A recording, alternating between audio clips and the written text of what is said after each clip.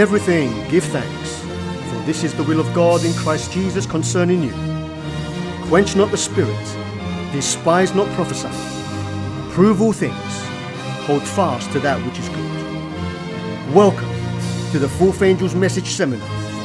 We invite you to join us as we dig deep into the mind of God's truth. Our speaker for today will be evangelist Jimmy Kakouri. Be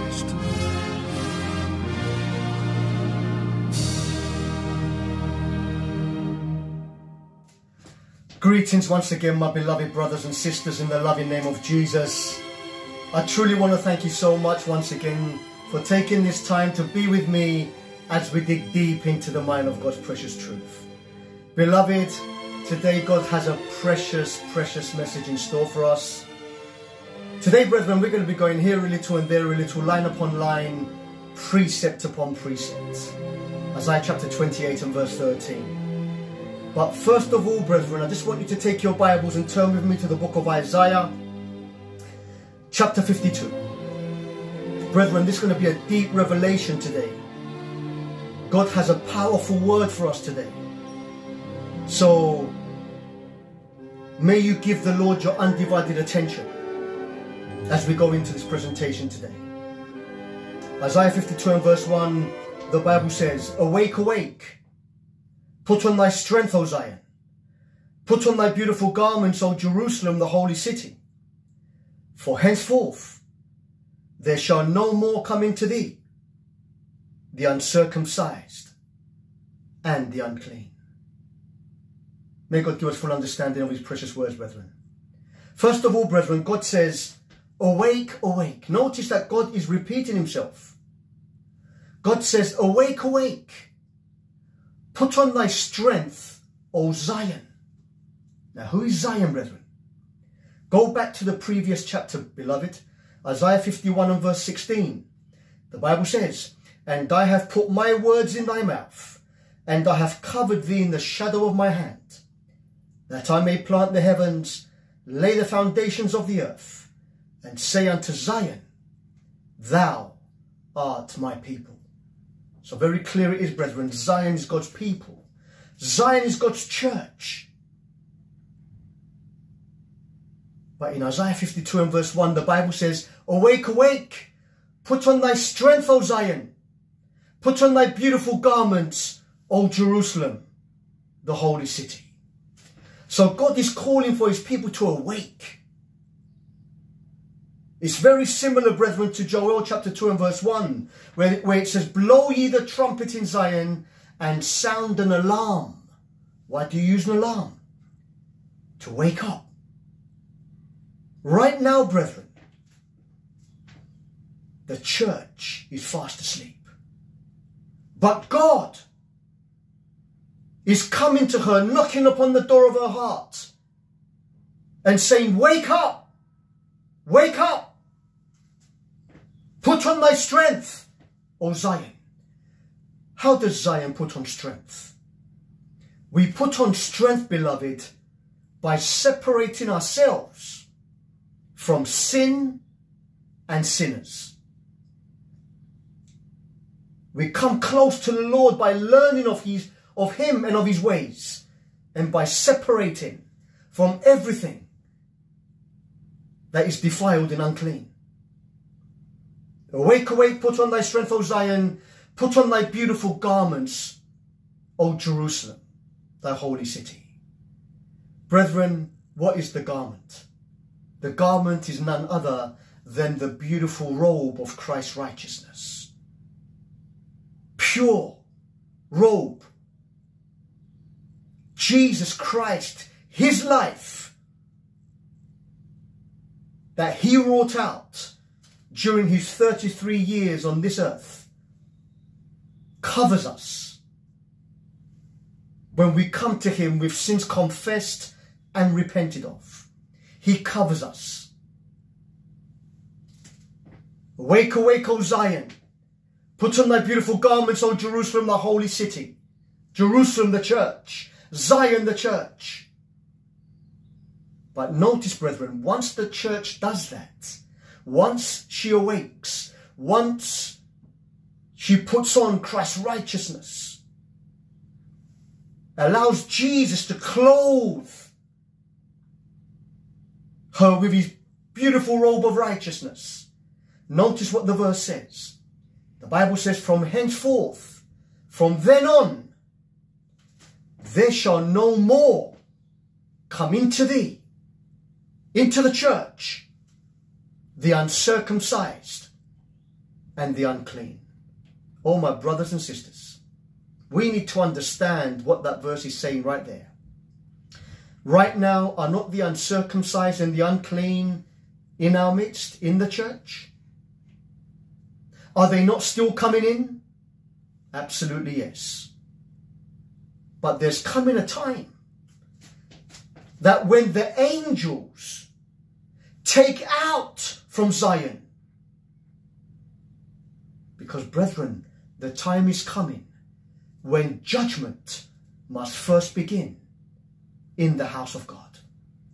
1 Peter 4.17 Psalm chapter 1 and verse 5, the Bible says, The ungodly shall not stand in the judgment, nor sinners in the congregation of the righteous. Are there sinners in the congregation right now, brethren, of the righteous? Absolutely yes. But when the angels, because this work of separation, brethren, is only committed to the angels. It is not committed to man to judge or even to seek to uproot the tares from the wheat.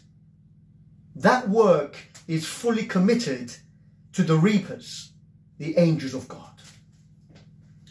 So the Bible says from henceforth, from then on, once the church awakes and puts on Christ's beautiful garment, his beautiful robe of righteousness, pure and clean, the Bible says, from henceforth, there shall no more come into the church the uncircumcised and the unclean. In other words, brethren, once the angels, even the five angels, each having slaughter weapons in their hands, in Ezekiel chapter 9, take out from the church the uncircumcised and the unclean. From then on, no more unconverted, no more uncircumcised in heart shall pass through the ranks of God's people. My beloved, that really shows us that the angels are going to take out and keep out of Zion the uncircumcised and the unclean. My brothers and sisters, look at verse 8. The Bible says, Thy watchmen shall lift up the voice. With the voice together shall they sing. For they shall see eye to eye when the Lord shall bring again Zion. Thy watchmen shall lift up the voice. With the voice together shall they sing. Perfect unity. With the voice together shall they sing, for they shall see eye to eye when the Lord shall bring again Zion. That's beautiful, brethren. God is about to bring again Zion. Approximately 2,000 years ago, in the upper room, God had 120 disciples of one accord, of one mind. And he baptized them with the power of his Holy Spirit. And they went out, brethren, and they preached. For the first three and a half years, they tarried in Jerusalem. They remained in the church to bring to fulfillment the 70 weeks of Daniel's prophecy in Daniel chapter 9. But once the Jewish nation stoned Stephen, then Paul says, it was expedient that the gospel first be preached unto you. But see seeing that you prove yourselves unworthy of eternal life, lo, return to the Gentiles. The time came, brethren, when the gospel had to go to the Gentiles. So, brethren, God's going to have a people again. Thy watchmen shall lift up the voice. With the voice together shall they sing. Perfect unity. For they shall see eye to eye when the Lord shall bring again Zion. Who are these people, brethren? Who are these people? Let's go to the book of Joel. In the book of Joel, beloved, Let's go to the book of Joel, chapter 2. And let's take a look, brethren, at verse. Let's begin from verse 6. The Bible says, Before their face, the people shall be much pained.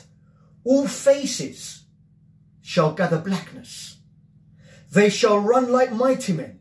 They shall climb the wall like men of war. And they shall march every one on his ways and they shall not break their ranks. What does that mean, brethren? They shall not break their ranks. First of all, brethren, when we think about ranks, what do we think about? We think about an army. Isn't that so? Look at verse 11. In verse 11, the Bible says, Joel chapter 2 and verse 11, And the Lord shall utter his voice before his army, for his camp is very great for he is strong that execute of his word. For the day of the Lord is great and very terrible, and who can abide it?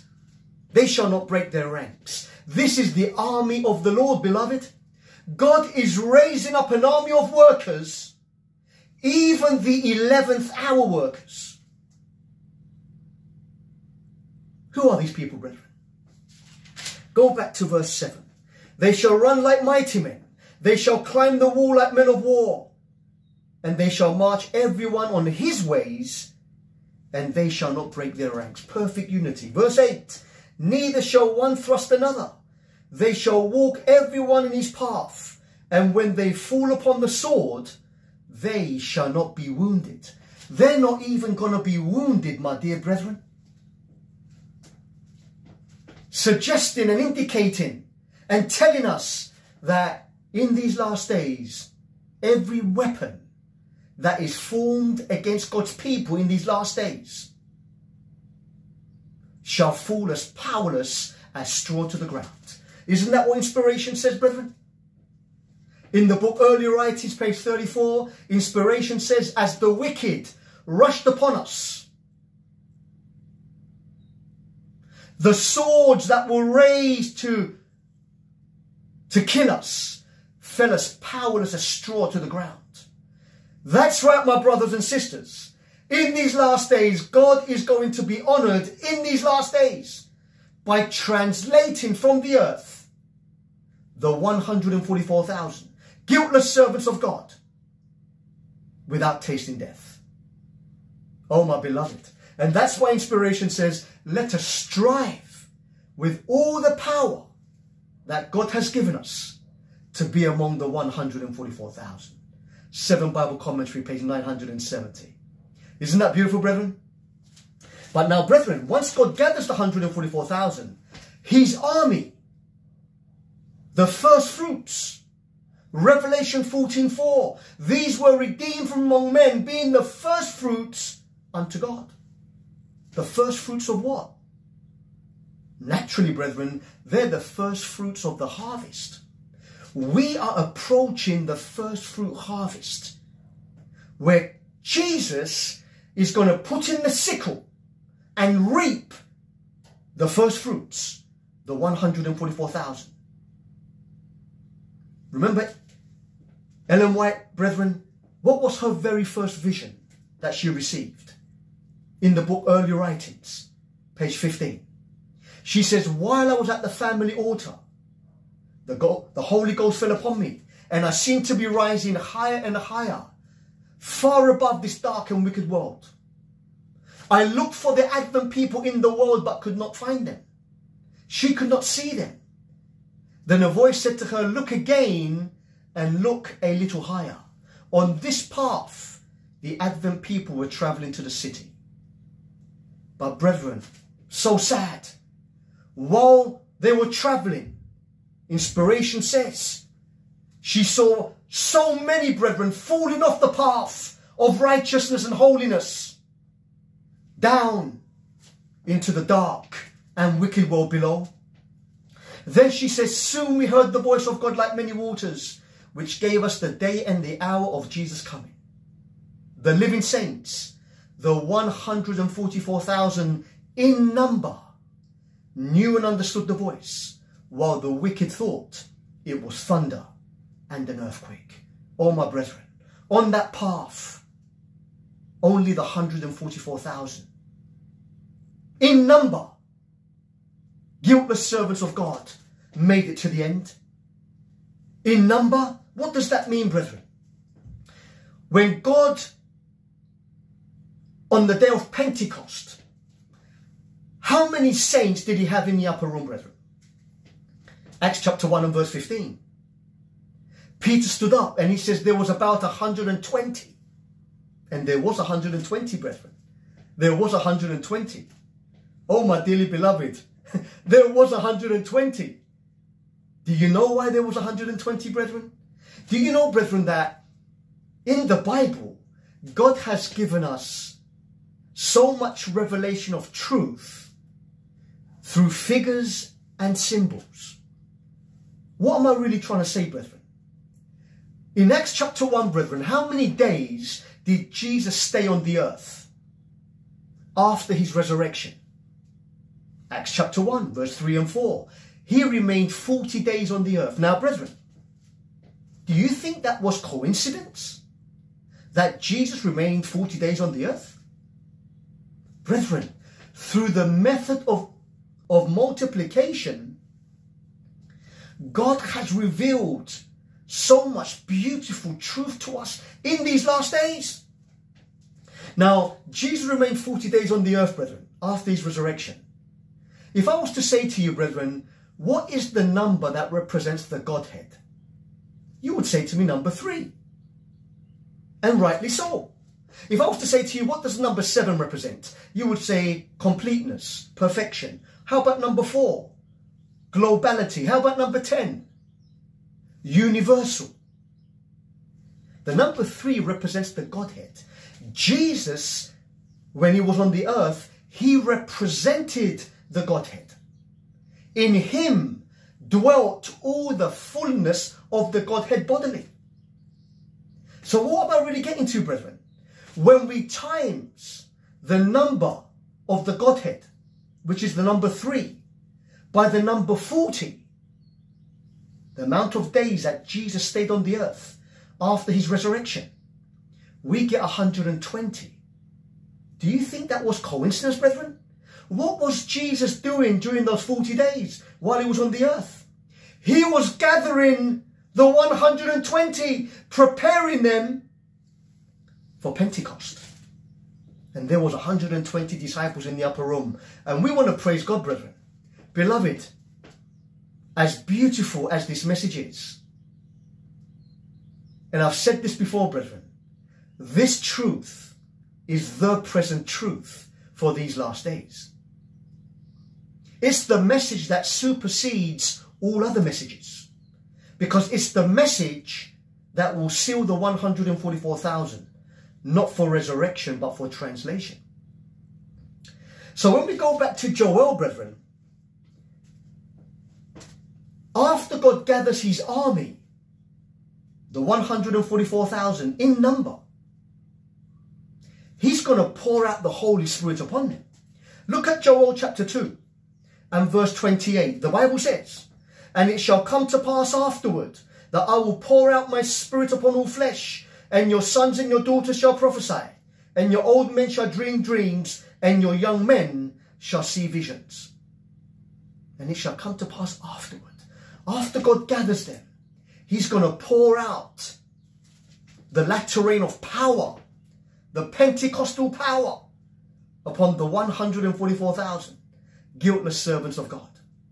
Why is God going to pour out the hundred upon the 144,000 brethren? The Holy Spirit. Why did he pour out the Holy Spirit on the day of Pentecost upon the 120 disciples? Because they still had a work to do in proclaiming the gospel to the lost and to the perishing. You see, and that's why, brethren, the 144,000 are only the first fruits of the harvest. Revelation 14.4. A first fruit necessitates a second fruit. And that's why, brethren, in Revelation chapter 6 and verse 17, John says, For the great day of his wrath is come, who's going to be able to stand? In Revelation 7, John gives us the answer. Under the inspiration of the Holy Spirit, John gives us the answer in Revelation 7, the next chapter. John saw two groups of saints standing in these last days. He saw the 144,000 from verses 1 through to 8. And from verse 9 to verse 17, he saw a great multitude, which no man could number, coming from every kindred, tongue, people, and nation. Who's going to gather those from every kindred, tongue, people, and nation, brethren? Who's going to preach the everlasting gospel to every kindred, tongue, people, and nation? When we go to Revelation 14, verse 6 on down, it speaks to us about the three angels' messages. Who's going to preach those three angels' messages to every kindred, tongue, people, and nation? With a loud cry. Brethren, right now, the loud cry hasn't even begun. And why do we say that? Oh yes, it is swelling, but it hasn't swelled. Inspiration says in Review and Herald, November 19, 1908, it's only those that overcome temptation in the strength of the mighty one that will be permitted to proclaim it. The third angel's message. When it swells, oh yes, brethren, it's swelling. But when it swells into a loud cry, it's only those that have overcome temptation in the strength of the mighty one. Who are they, brethren? The 144,000 who have his father's name written in their foreheads. Oh, beloved, no guile in their mouth. Revelation 14 and verse 5. God's going to turn to them the pure language. Zephaniah 3 and verse 9. The pure gospel truth. Then will he give them the pure language. The pure language. What is this pure language, brethren? It's the pure gospel truth. The 144,000 will have no guile in their mouth. They're going to proclaim the loud cry. And they're the ones that will be sealed and overcome temptation in the strength of the mighty one. And they're the only ones that will be permitted to proclaim it. The third angel's message when it swells into a loud cry. You know, brethren, in Testimony Volume 9, page 164, inspiration says, in order to be purified and to remain pure, Seventh day Adventists must have the Holy Spirit in their hearts and in their homes. The Lord has given me light that when the Israel of today humble themselves before him and cleanse the soul temple from all defilement, he will hear their prayers in behalf of the sick and will bless in the use of his remedies for disease. Oh, my beloved brethren, do we want to be among those people, brethren? The Israel of today, the 144,000, Revelation 7 4, and I heard the number of them that were sealed, and there were sealed an 144,000 of all the tribes of the children of Israel. Brethren, so God gathers his army, the 144,000, and he pours upon them the power of his Holy Spirit. Joel chapter 2 and verse 28. But now let's pick it up from verse 32, brethren. Look what the Bible says. So the Holy Spirit's been poured out upon the 144,000. And they're the ones that are going to proclaim the loud cry. What makes the crowd the cry loud? Well, one of the things that makes it loud, brethren, is the outpouring of the latter rain of power. That gives power to the third angel's message. That gives power and force. When God pours out the Pentecostal power upon the 144,000, they will be empowered to proclaim the third angel's message, not in a faint cry. Oh no, brethren but with a loud cry. So the Holy Spirit being poured out, brethren. But brethren, I have to emphasize this. Inspiration says it only takes one sinner.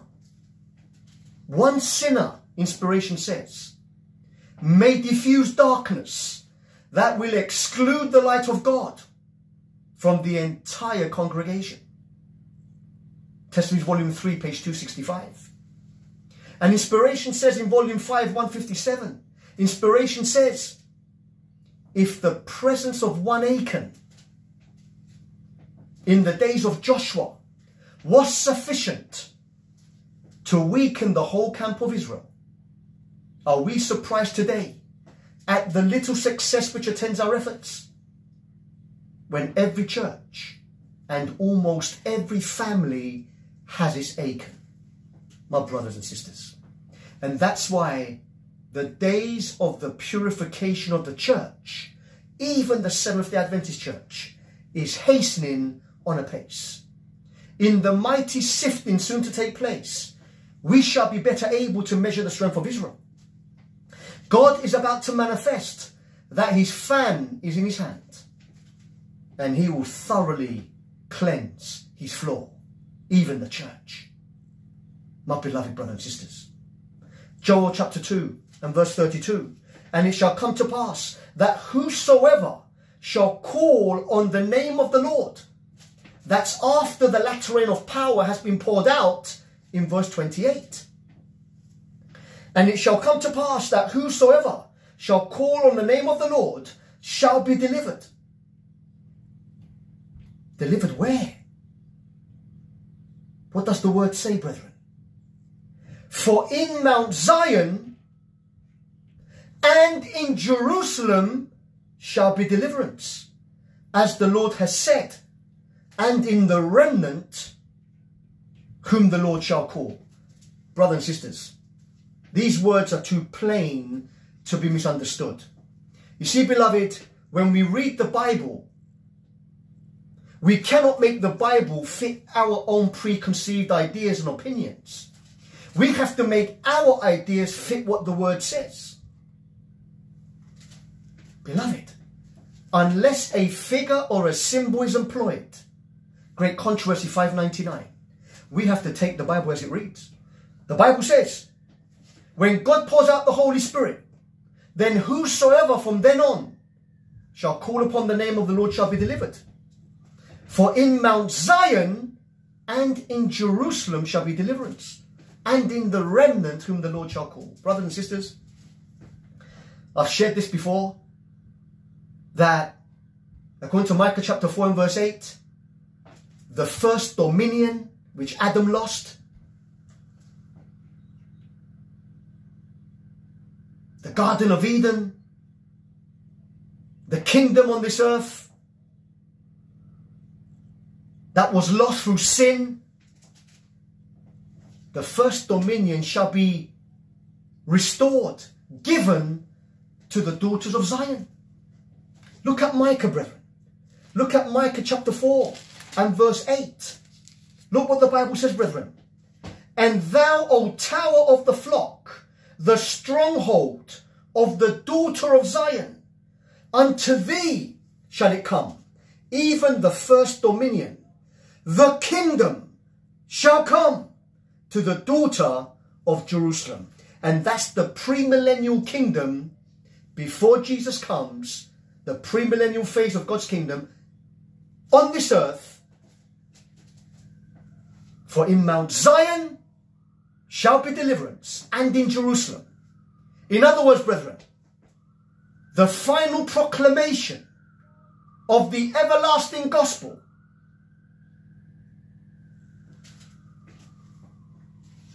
shall be proclaimed from Mount Zion and from Jerusalem. In other words, the headquarters of the final proclamation of the everlasting gospel is going to be from God's kingdom in Jerusalem, Mount Zion. And that's why Revelation 14.1, the 144,000 were standing on Mount Zion with the Lamb. Standing with the Lamb because the Lamb was still bleeding. Probation is still open. And that's why when you go down to verse 6, Who's going to preach the everlasting gospel? Revelation 14 6. To every kindred, tongue, people, and nation. With a loud cry. The 144,000. But from where? Brethren, don't miss this. Right now we have the sisterhood of churches scattered worldwide. The Seventh day Adventist Church is scattered worldwide. But once God purifies the church by the slaughter of Ezekiel 9, the final proclamation, headquarters, is going to be from Jerusalem. The land that God gave unto our fathers, even Abraham, Isaac, and Jacob. So the first dominion comes to the daughter of Zion. What does that mean, brethren? The daughter of Zion. It doesn't say Mother Zion, ancient Zion. No. The daughter of Zion is latter day Zion, the Zion of today.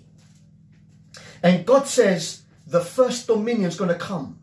The kingdom, it says the kingdom is going to come to the daughter of Zion.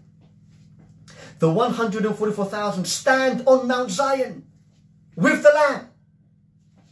And from there, the headquarters for the final proclamation of the everlasting gospel is going to be from the land that God gave unto our fathers. Beloved, I know you're going to have a lot of questions on this point. Please visit, visit our website, even go onto YouTube, onto Zion Cry We Must. Could be a phone number on the screen, brethren, please. Get in contact with us, brethren. This message is the present truth message. The restoration of all things. Didn't Jesus say in Matthew chapter 17 and verse 11 that when Elijah comes, he's going to restore all things? What are the things that needed to be restored? Well, the first dominion that Adam lost is going to come, even the kingdom, to the daughter of Zion. What was the question, brethren, that the disciples asked Jesus after he rose from the dead? In Acts chapter 1 and verse 6 and 7. They came to the Lord and said to him, Lord, will you at this time restore again the kingdom to Israel?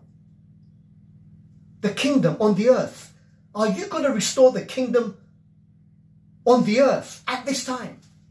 Notice what Jesus said. He never said, No, I am not. He just simply said, It is not for you to know the times or the seasons which the Father has put in his own power. Oh, my brethren. And whosoever shall call upon the name of the Lord shall be delivered. For in Mount Zion and in Jerusalem shall be deliverance. Let's go to different places, brethren, for out of the mouth of two or three witnesses, every word shall be established. Let's go since we went to Micah, brethren, let's stay, let's stay in Micah. In Micah chapter 4. Look at verse 1, brethren. Micah chapter 4 and verse 1, the Bible says, But in the last days it shall come to pass. See, brethren, each of the ancient prophets spoke less for their own time than for ours so that their prophesying is in full for us. Here we see Micah writing about the last days. What Micah wrote is for us. Look at Micah 4 and verse 1. But in the last days it shall come to pass that the mountain of the house of the Lord shall be established. What is this mountain of the house of the Lord, brethren? That is going to be established. That wasn't established prior to the last days. But in the last days it shall come to pass that the mountain of the house of the Lord shall be established in the top of the mountains, and it shall be exalted above the hills, and people shall flow into it. Hmm. Probation is still open here, brethren. Look at verse 2. And many nations shall come and say, Come, and let us go up to the mountain of the Lord, to the house of the God of Jacob, and he will teach it of his ways, and we will walk in his paths. For the law shall go forth of Zion, and the word of the Lord, from where, brethren? From Jerusalem, in these last days. But in the last days it shall come to pass that the mountain of the Lord's house shall be established. Brothers and sisters, this is the kingdom of God established on this earth. Brethren, do we have enough faith to believe that what the word says? Oh, brethren, if you was living in the days of Noah, would you have believed Noah's message? Would you have gotten into the ark? Or would you have waited to see the rain coming before you made a move to enter the ark? Brothers and sisters, the just shall live by faith. Faith comes by hearing and hearing by the word of God. And the word of the Lord from Jerusalem, the final headquarters for the final proclamation of the everlasting gospel is going to be from God's kingdom, brethren. Jerusalem, the land that God gave unto our fathers, Mount Zion. For in Mount Zion and in Jerusalem shall be deliverance, and in the remnant whom the Lord shall call. Look up verse 3, brethren, Micah 4 and verse 3. And he shall judge among many people, and rebuke strong nations afar off. And they shall beat their swords into plowshares, and their spears into pruning hooks. Nation shall not lift up sword against nation, neither shall they learn war anymore. In the last days, nation is not going to lift up sword against nation, neither are, they going to learn war anymore. In the last days, beloved, what does it mean in the last days? Well, brethren, which is the last day of this earth's history? Turn me to John chapter 6. The Gospel of John, brethren, chapter 6 and verse 39. John chapter 6 and verse 39. Jesus speaking says, And this is the Father's will, which has sent me, that of all which he has given me, I should lose nothing, but should raise it up again at the last day. That's right, brethren. Unmistakable language. Jesus says the day of the resurrection, when the dead in Christ shall rise first, and we which are alive and remain shall be caught up together with those in the clouds, and so shall we ever be with the Lord. The last day is the day of the resurrection, the second coming of Jesus. Therefore, last days events are days before the last day. What we're seeing here in Micah, brethren, are probationary days, probationary time. And they're going to beat their swords. Look what it says, brethren. They're going to beat their swords into plowshares, their spears into pruning hooks. What do we use, at least anciently, what did people use spears for, brethren? And swords, implements of war. So, when Isaiah says they're going to beat their spears into pruning hooks, their swords into plowshares. Nation shall not lift up sword against nation, neither shall they learn more anymore in the last days, brethren. That almost seems to be a contradiction to Matthew 24, when Jesus said, speaking about the last days, nation shall rise against nation and kingdom against kingdom. Oh, yes, brethren. There's going to be wars, but these nations that will be converted to the Lord, when they see the ensign, Isaiah chapter 11 and verse 12. God is going to lift up an ensign for the nations. The kingdom on this earth. Christ and his kingdom, beloved, is going to be the ensign for these last days.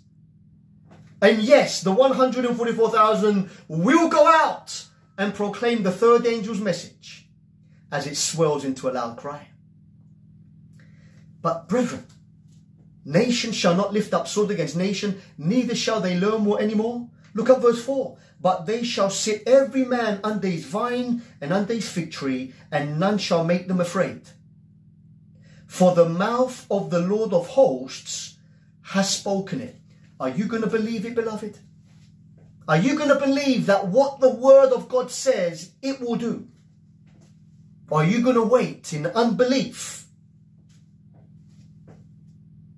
And like the foolish virgins arrive at the door too late, only to hear the words, Depart from me.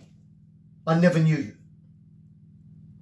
Oh, my beloved brethren, these are solemn times.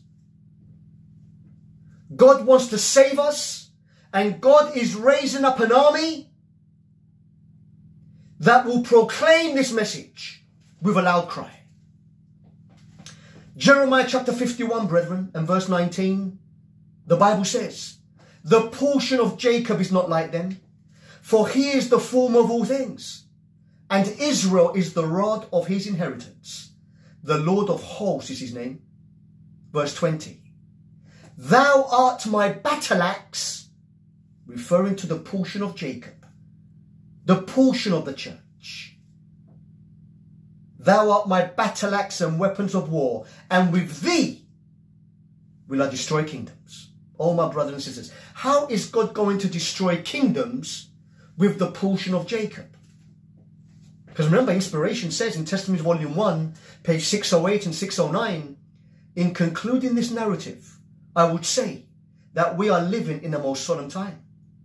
In the last vision given me, I saw the startling fact that but a small portion of those who now profess the truth will be sanctified by it and be saved. Only a small portion, brethren. They will rise up against the simplicity of the work, conform to the world, cherish idols, and become spiritually dead. Is that what we want to experience, brethren? To become spiritually dead right now God has given us this fresh revelation of truth. To awake, to arise and shine, because our light has come and the glory of the Lord has risen upon us. My brethren, the portion of Jacob, God says, with thee will I break in pieces the kingdoms and the nations. Through the proclamation of the everlasting gospel, God through the 144,000 guiltless servants of God will break in pieces the nations. Oh no, brethren. This is not a physical breaking, but through the preaching of the everlasting gospel. And that's why, beloved, when we turn to Daniel chapter 2, that is the same truth that we see there, brethren, in Daniel chapter 2.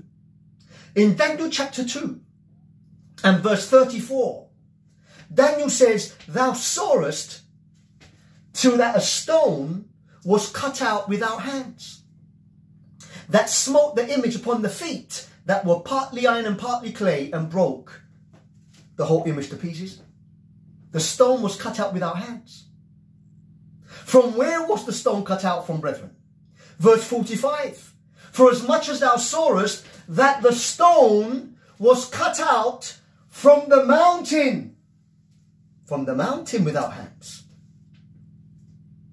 But the interesting thing is, brethren, verse 35 tells us, Daniel 2.35, the stone that was cut out without hands, when it smote the image upon the feet, what happened to the stone, brethren? It grew again and became a great mountain. Brethren, this is part of the prophecy that we haven't really understood. The stone was cut out without hands. It was cut out from the mountain without hands. Verse 45. But in verse 35, after the stone smites, smites the image, the stone grows. Hmm. Didn't Jesus say the kingdom of heaven is likened to a grain of mustard seed, which is the smallest of all seeds? But when it grows, it becomes the greatest among herbs so that all the birds of the air come and lodge in it. Isn't that what happens to the stone, brethren? The stone grows, brethren. God's kingdom, God's kingdom church can only grow during probationary time. And that's why in Daniel chapter 2 and verse 28, Daniel says, But there is a God in heaven that revealeth secrets and maketh known to the king Nebuchadnezzar what shall come to pass in the latter days, in the last days. Last days, brethren, are days before Jesus comes. Daniel chapter 2, the fulfillment of Daniel 2 are days before Jesus comes. Daniel chapter 2 and verse 28. But there is a God in heaven that revealeth secrets and maketh known to the king Nebuchadnezzar what shall come to pass in the last days. And that's why even in verse 44, and in the days of these kings, what kings? The ten toes, brethren, the ten toes. Do you know that Ellen White says in Testimony Volume 1, 361, our position, she says, in the image of King Nebuchadnezzar is represented by the toes in a divided state of a crumbling material that will not hold together.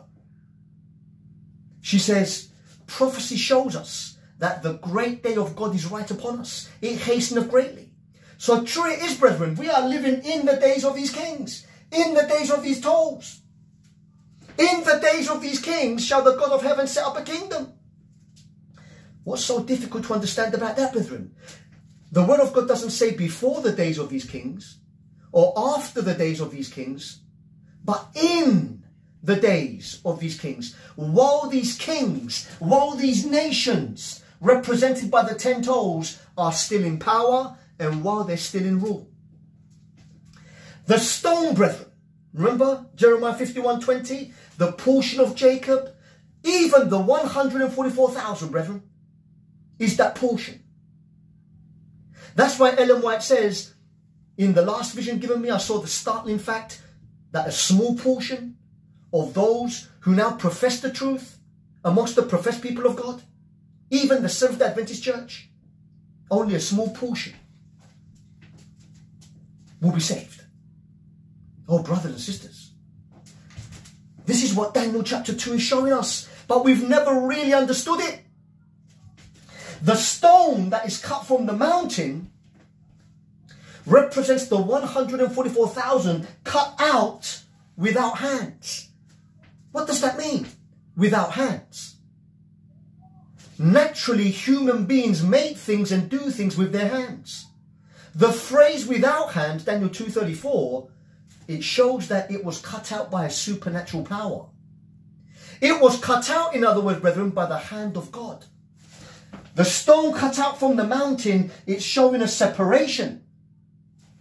But what does the mountain represent, brethren? Isaiah chapter 2, verse 2. And it shall come to pass in the last days that the mountain of the Lord's house shall be established. The mountain of the Lord's house, the mountain of the Lord's church shall be established in the top of the mountains and shall be exalted above the hills. The mountain of the Lord's house, brethren. The mountain of the Lord's church. Joel chapter 2 and verse 1. Blow ye the trumpet in Zion. That's the church and sound an alarm in my holy mountain, in my holy mountain, in the church. Sound the alarm in my church. Isaiah 56 and verse 7, even them will I bring to my holy mountain and make them joyful in my house of prayer. Oh, my brothers and sisters, the mountain represents the church in the last days. Daniel chapter 2 and verse 28.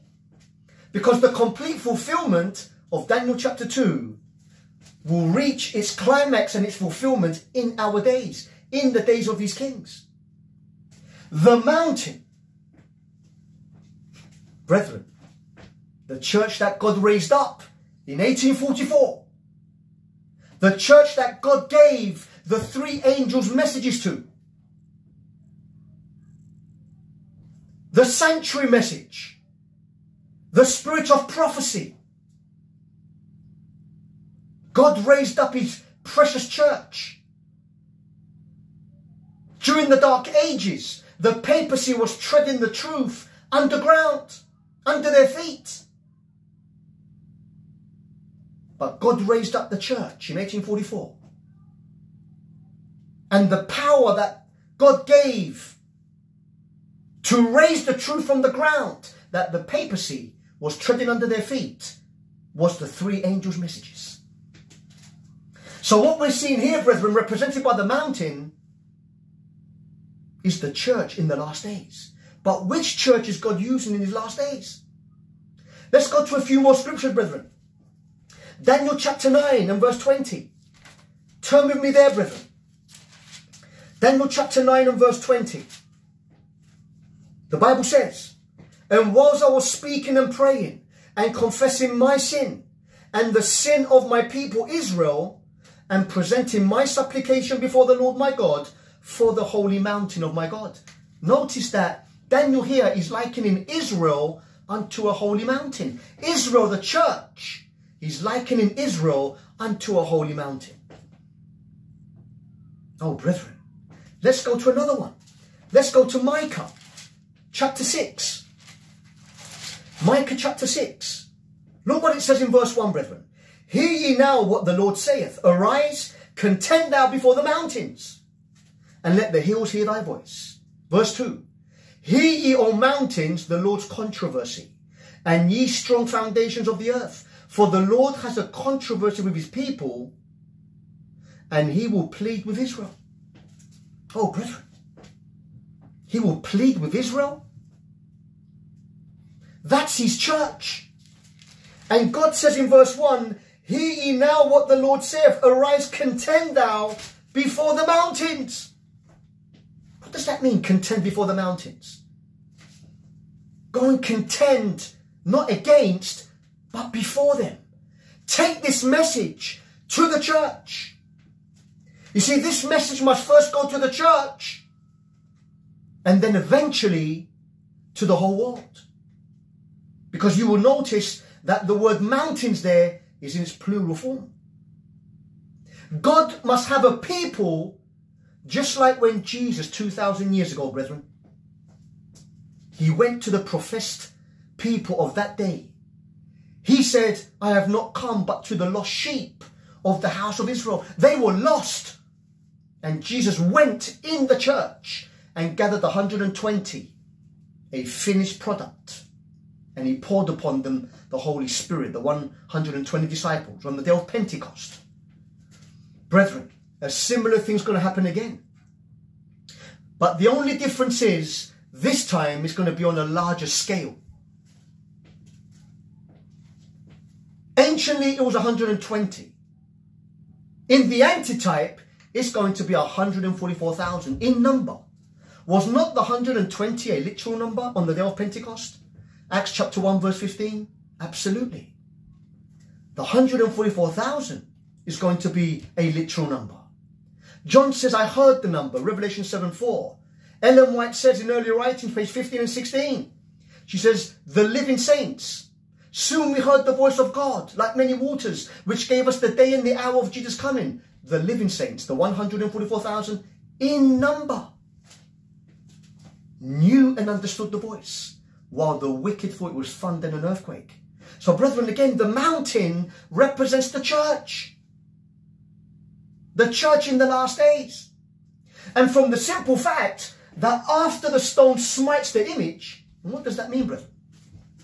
The stone is the church purified, the remnant cut out from the mountain. Oh, my brothers and sisters, this people are a great people and they're strong.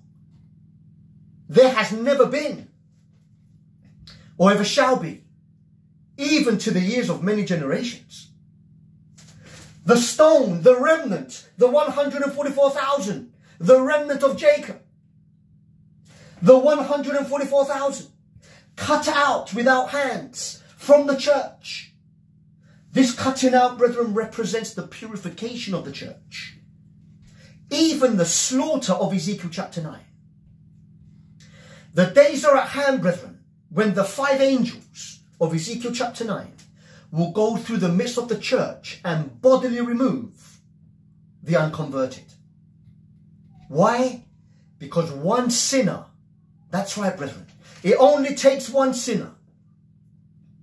One sinner may diffuse darkness that will exclude the light of God from the entire congregation. And inspiration says in volume 3, page 270, God's displeasure is upon his people, and he will not manifest, he will not manifest his power in the midst of them while sins exist among them and are fostered by those in responsible positions. Brethren, that's as clear as anything I have ever seen before. Testimonies Volume 3, page 270. God will not manifest his power in the midst of his people, while sins exist among them and are fostered by those in responsible positions. So the mountain is symbolic of the church, even the Seventh day Adventist church, in these last days. But the church needs to be purified, brethren. And that's why in Isaiah chapter 4 and verse 3 it says, It's only he that is left in Zion, only he that remains in Jerusalem shall be, called, shall be called holy, even everyone that is written among the living in Jerusalem. Verse 4 When the Lord shall have washed away the filth of the daughters of Zion from the midst thereof by the spirit of judgment and by the spirit of burning. Oh, my brethren, what did God say? When the Lord shall have washed away the filth, brethren, for God to wash away the filth, that means there's filth in the church. Beloved. And that's why the, the purification of the church is imminent. The Seventh day Adventist church is represented by the mountain. The 144,000, the remnant of Jacob. The church purified is represented by the stone. What does the stone do, brethren? It breaks in pieces. What did we read in Jeremiah 51 and verse 19 and 20? With the portion of Jacob, the remnant of Jacob, God is going to break in pieces the kingdoms of this world. Jeremiah 51 and verse 20. Look at Zechariah chapter 12, brethren. Look at Zechariah chapter 12 and verse 3.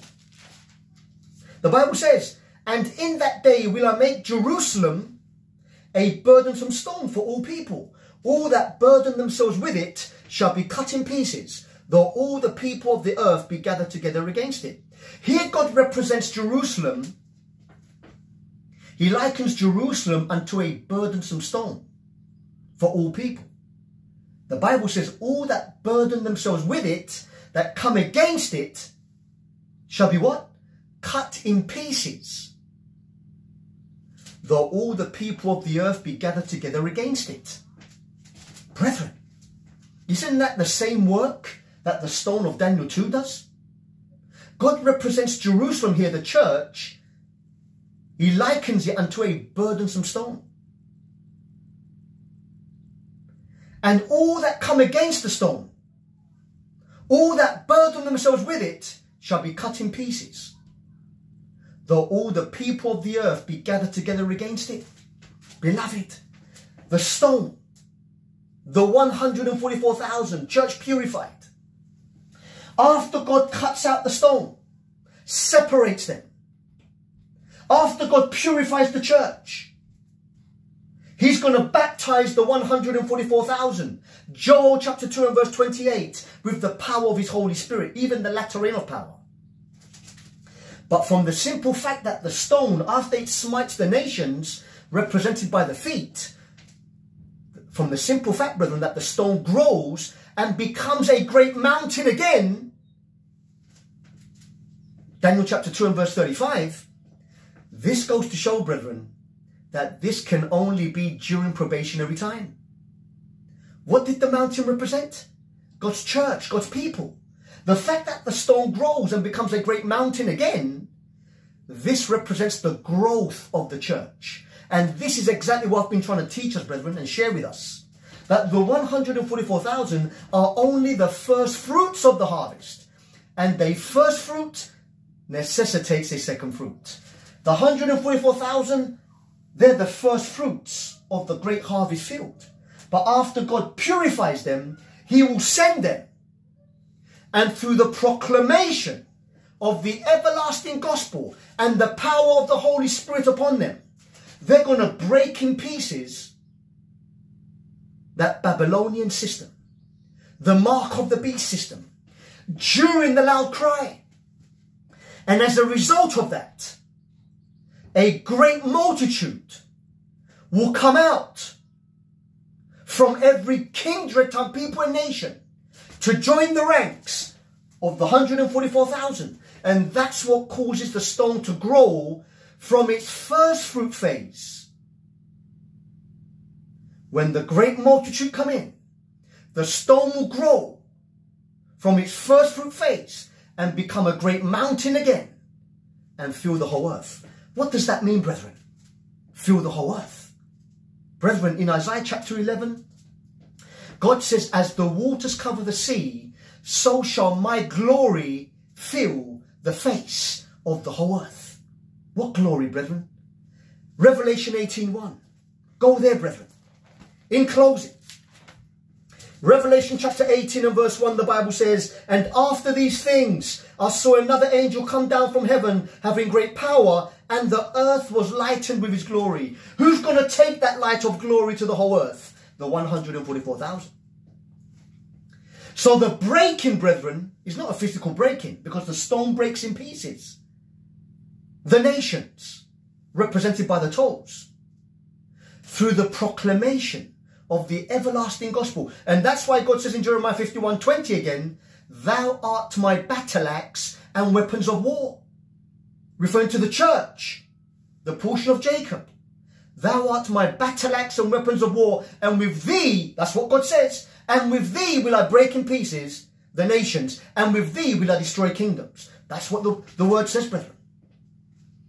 God is not going to literally send his people out with literal swords and, and battle axes. No.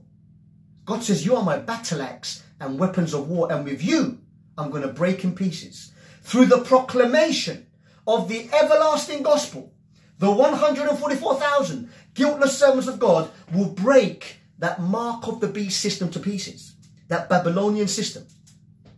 In that one hour, maybe you're thinking, brethren, what hour is this? Look at Revelation 18, brethren. Revelation 18, we read about verse 1, the angel that fills the whole earth with his glory. Verse 4 says, And I heard another voice from heaven saying, Come out of her, my people, that ye be not partakers of her sins, and that ye receive not of her plagues. See, the second fruits will have to be rushed out from Babylon. And that's why, brethren, in Obadiah 1 and verse 21, it says, And saviors shall come up on Mount Zion. There you go again, brethren, Mount Zion. Obadiah 121.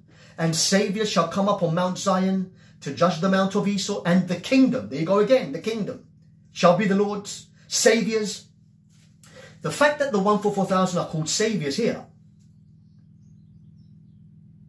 that goes to show that they still have a work of saving souls. And Saviour shall come up on Mount Zion. Who did John see in Revelation 14.1 standing with the Lamb on Mount Zion? 144,000. And the kingdom shall be the Lord's. What kingdom? Micah 4 and verse 8. The kingdom, the first dominion, shall come to the daughter of Zion. Jerusalem. But the one hour, brethren, when the 144,000, beloved, are cut out after Ezekiel 9 and sent to the nations to proclaim the everlasting gospel, then they're going to accomplish the greatest amount of work in the shortest duration of time. Look up Revelation 18, brethren. Look up verse 9 and 10. And the kings of the earth who have committed fornication and lived deliciously with her shall bewail her and lament for her when they shall see the smoke of her burning, standing afar off for the fear of her torment, saying, Alas, alas, that great city Babylon, that mighty city, for in one hour is thy judgment come. The one hour. Brethren, look up verse 15 to 17, Revelation 18 the merchants of these things, which were made rich by her, shall stand afar off for the fear of her torment, weeping and wailing, and saying, the merchants, and saying, Alas, alas, that great city that was clothed in fine linen and purple and scarlet, and decked with gold and precious stones and pearls, for in one hour so great riches is come to naught. And every shipmaster, the traders, and all the company in ships and sailors, and as many as trade by sea, stood afar off and cried when they saw the smoke of her burning, saying, What city is like unto this city? The one hour again, brethren. It's also mentioned in verse 19 and they cast dust on their heads and cried, weeping and wailing, saying, Alas, alas, that great city, wherein were made rich all that had ships in the sea by reason of her costliness. For in one hour is she made desolate. Brothers and sisters, three places in Revelation 18 is that one hour mentioned. The only place where you're going to find the one hour is in Matthew chapter 20. The 11th hour laborers. Remember, the householder went out at five different intervals. Early in the morning, the third hour, the sixth hour, the ninth hour, and the 11th hour. The 11th hour laborers, the 144,000, from the 11th hour to the 12th, from the 11th hour to the 12th, sunset, representing the close of probation for the whole world. In that one hour, the 144,000, the stone cut out from the mountain, complete spiritual vision. Zechariah chapter 3 and verse 9. The stone with seven eyes. The men wondered at. Zechariah 3 and verse 8. The stone, brethren. The men wondered at. Because remember, Ellen White says the men wondered at in Zechariah 3 8 are the 144,000. Prophets and Kings 592. The men wondered at are the 144,000, she says. Now is reached the complete fulfillment of the words of the angel. Hear now, O Joshua the high priest, thou and thy fellows that sit before thee, for they are men wondered at. And the previous verses, she's talking about the 144,000. The previous paragraph, she's speaking about the 144,000. So the men wondered at the 144,000. Zechariah 3, verse 8. But verse 9 it speaks about the stone that was before Joshua having seven eyes. Who was before Joshua? The men wondered at. The 144,000. So brethren, we have scripture. Zechariah 12 and verse 3. Zechariah 3 and verse 9. That proves unmistakably that the stone, brethren, the stone is not Jesus personally, but it's Christ reproduced in his, in his people in his church. And that's why the 144,000 have his father's name written in their foreheads.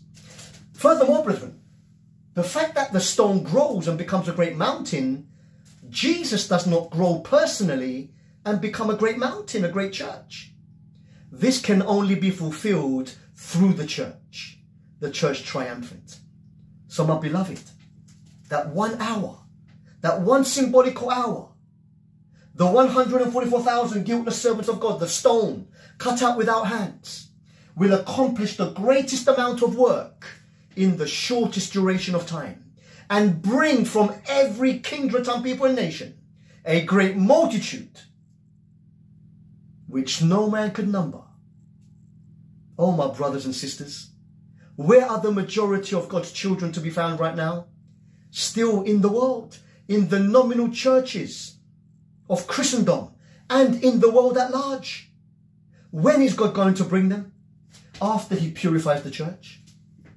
In closing, Isaiah 66, beloved, Isaiah chapter 66. In closing, brethren, look at Isaiah chapter 66 and verse 19.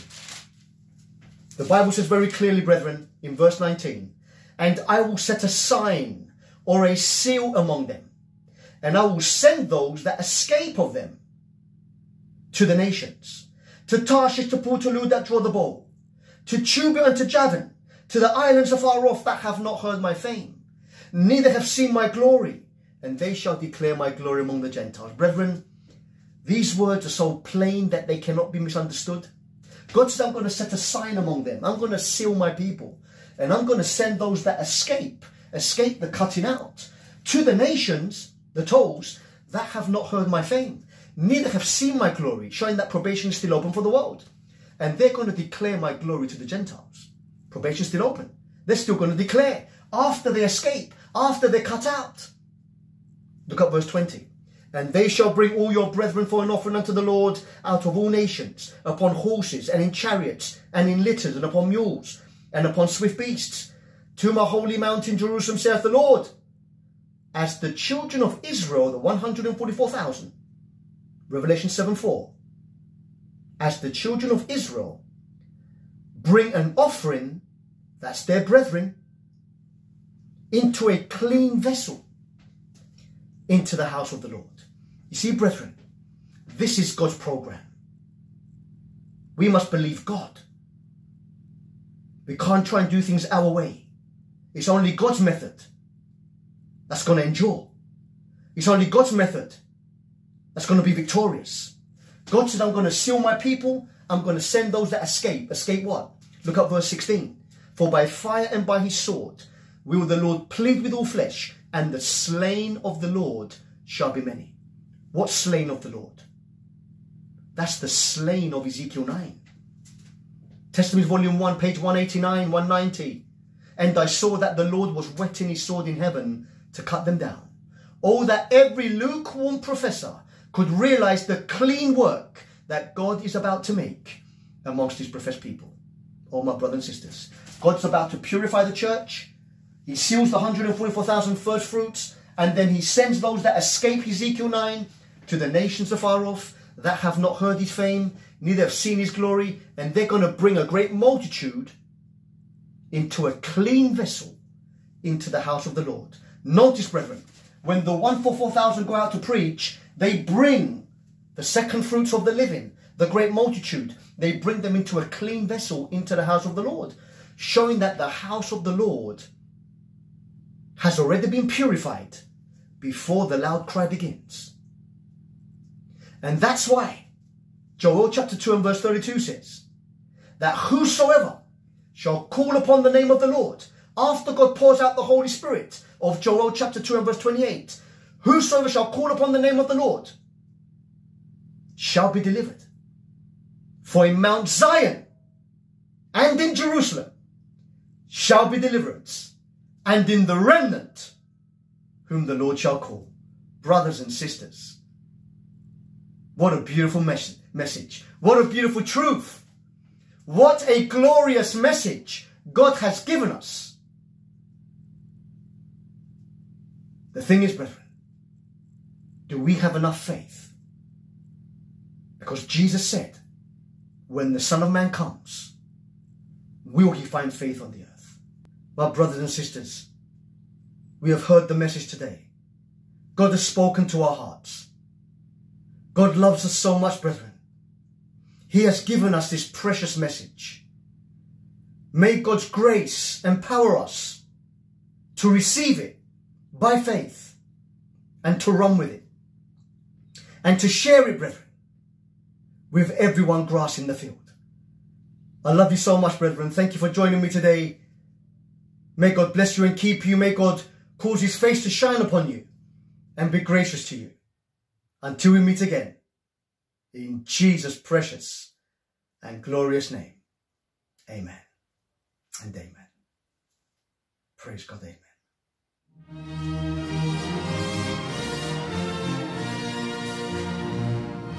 We trust that your hearts have been stirred by the ever unfolding revelations of God's prophetic word. There are also many more prophetic studies available to you. For further information, please contact us on 1 800 729 7494 or visit us on the World Wide Web at www.threeangelsherald.org. Thank you.